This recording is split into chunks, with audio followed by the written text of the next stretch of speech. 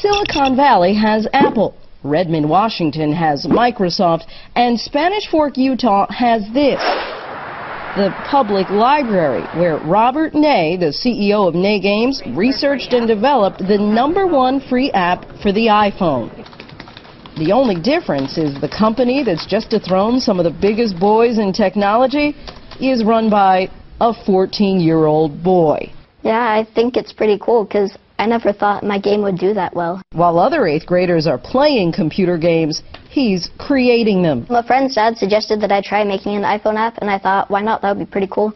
And so I checked out a book from the library, and so I eventually found a program called Corona SDK. that has a built-in physics engine, which is really nice. The game Robert created is called Bubble Ball, and in just the last two weeks, it's been downloaded more than 2 million times and counting.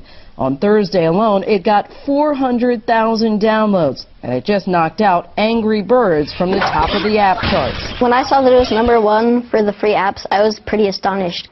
While Robert's app can be downloaded for free, if he had charged a dollar for the app, he would have made $2 million, enough money to pay for an undergraduate degree at his college of choice, Utah's Brigham Young University, 113 times. He's already busy working on another game. Ah, uh, it's secret for now. But we do know the next one will likely be at least 99 cents a download. For Good Morning America, Lindsay Davis.